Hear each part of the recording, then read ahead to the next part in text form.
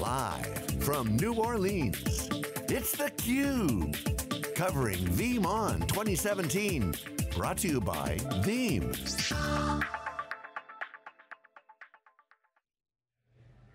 Welcome back to the Big Easy, everybody. This is theCUBE, the leader in live tech coverage. I'm Dave Vellante with Stu Miniman, and this is our first day of coverage of VeeamON 2017. We'll be here for two days. Hamman Ferreira is here. He's the CTO of BankservAfrica in, from South Africa. Welcome to theCUBE, thanks for coming on. Yeah, thank you gentlemen. Uh, always a pleasure to be here. So, uh, quite, a, quite a tour for you. You've been over here for a while, checking out a few different you know, technology events, and uh, what do you think of VeeamON? Uh, amazing experience. Uh, so it's always great connecting with the partners, connecting uh, with the vendors, and uh, with my fellow customers. So there's only one of us that can tell war stories, and that is to one another. So, so it's always great connecting with people that knows what you're going through. So tell us about your your organization, the bank, what you guys are focused on. Yeah, so Bankserv is the mutual that uh, runs for South Africa uh, um, a payments clearinghouse. So we get owned by the banks and we deliver services back into the banks. Okay. So therefore, uh, as you guys know, uh, the payments industry is going through a bit of a modernization exercise. Um, so long gone the traditional cash and, uh, and check, and it's now all the different digital channels.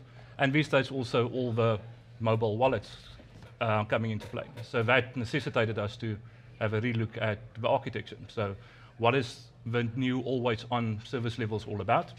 Uh, and how do I build architecture that will help me exceed those service levels to the customers?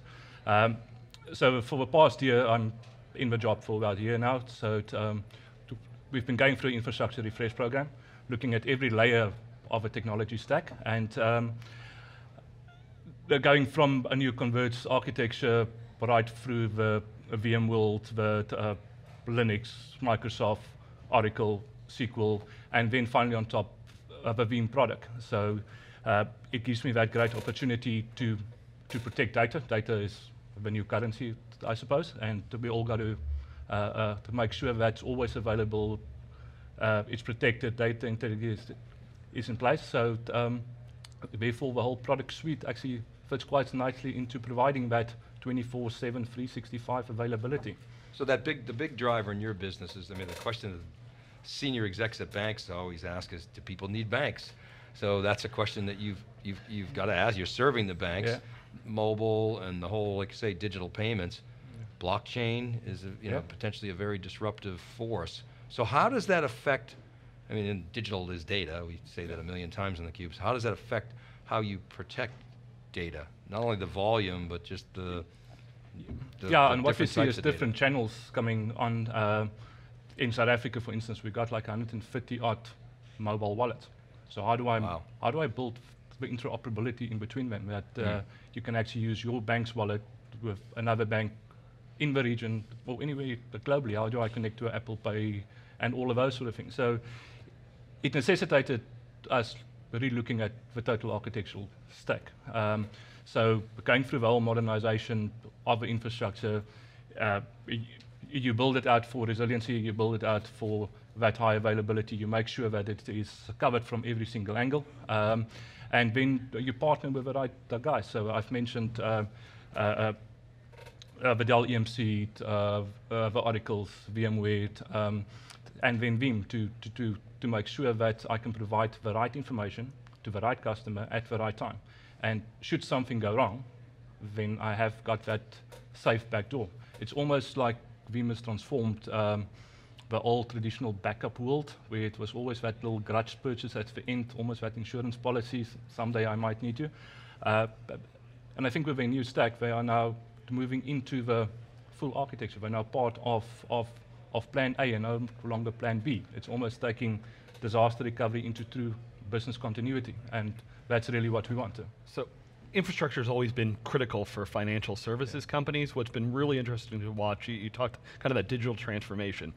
Many of the companies I talk to, it's they're developers, they're becoming software companies themselves, uh, and that puts a whole different kind of stress and strain on, on the IT people. Uh, can, can, you give us a little bit of color on that and what, what you've been seeing from kind of the, the business transforming? Are you a software company now?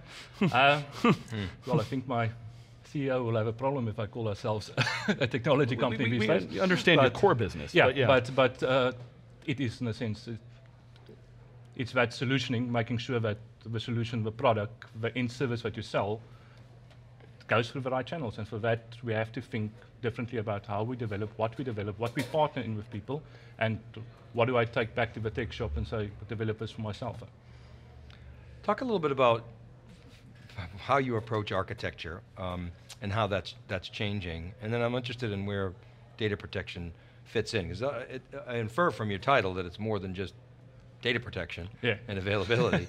so describe your philosophy of, of architecture and sort of how you spend your time thinking about how to support this digital transformation. Well, first of all, you've got to understand the customer needs. So what is the SLA that you need to uh, uh, obtain? And how do you actually contract this in this new digital world? So uh, we have a new generation, always on, always available, always there.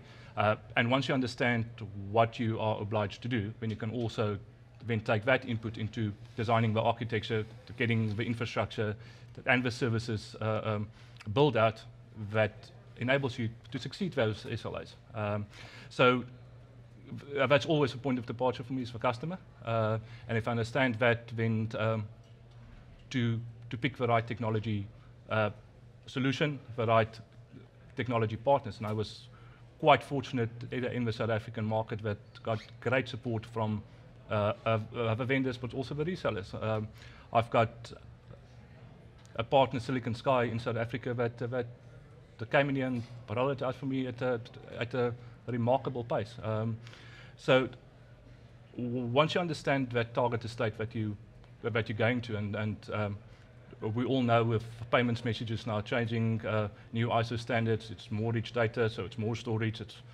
more competent on actually managing. So if you don't pick the right tools right now, then that transformational journey will actually be more difficult in a couple of years' time. So um, that was the reason why we selected it and why we built, uh, and we almost chose to build a new target state infrastructure so that we can migrate onto it. Uh, um, instead of going back and fixing some of the legacy stuff. Uh, so you can imagine some of the check processing systems and EFT systems It's now been around for 50, 25 years, all of those sort of things. So it, um, it's time that we really look at it. Um, quicker, faster, better, yeah. simpler. One, one of the big things we're hearing from Veeam here is that it's not just about virtualized environments. They have virtual, they have physical, they're supporting SaaS applications yeah. and, and, public cloud.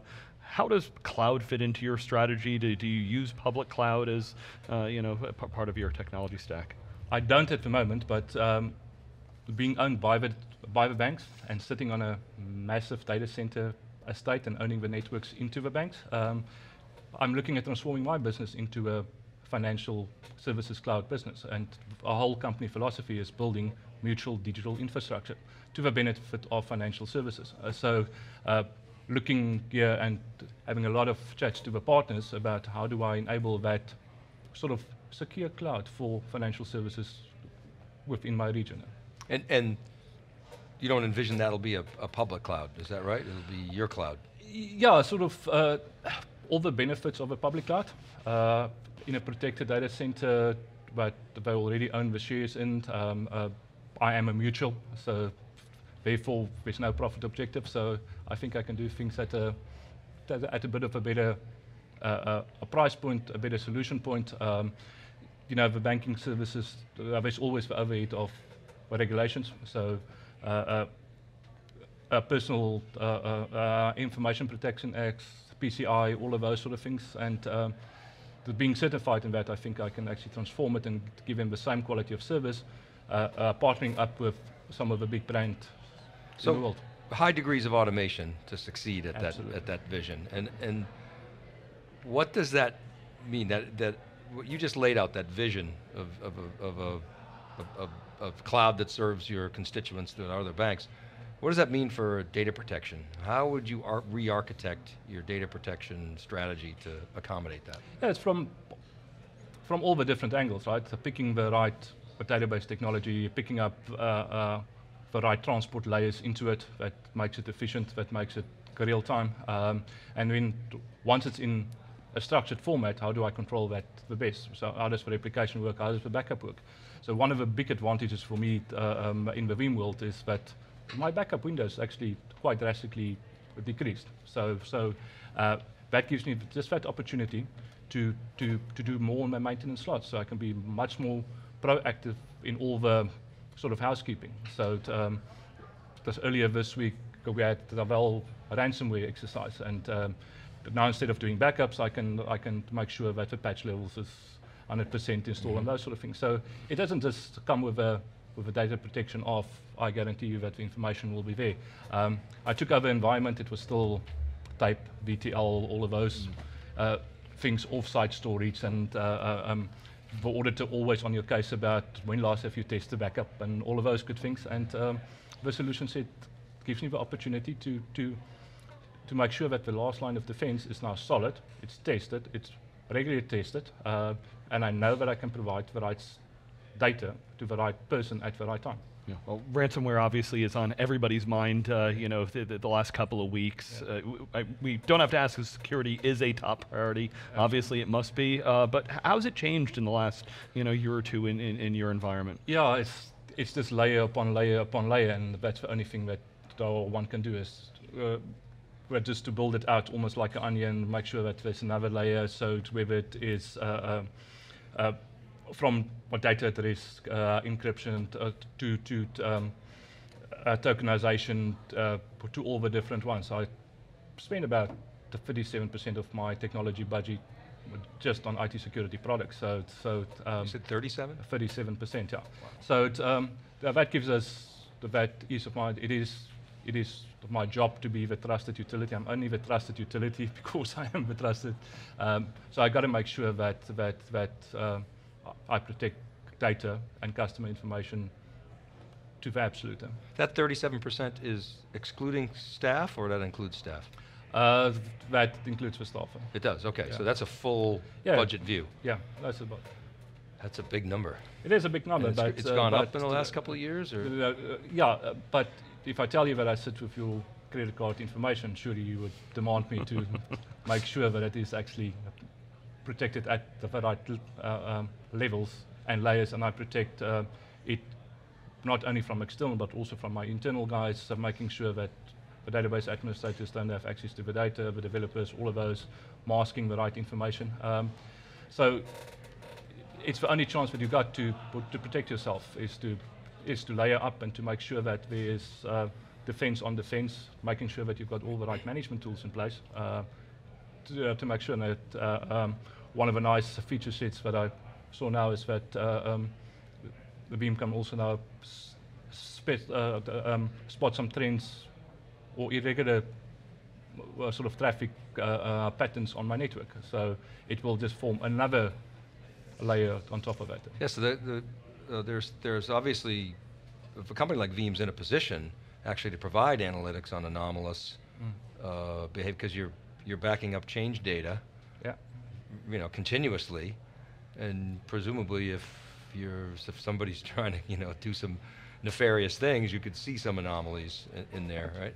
Absolutely, and if I can validate that out of two or three different ways and uh, make sure that I've got all the basics in place, then then I sleep a bit easier at night. Then. Right. All right, we'll leave it there. Hamman, thanks very much for coming to cool. theCUBE. It's good to meet you. Thank you, enjoyed it. All right, Thanks you're welcome. Keep it right there, buddy. Stu and I will be back. We're live from VeeamON in New Orleans. Right back.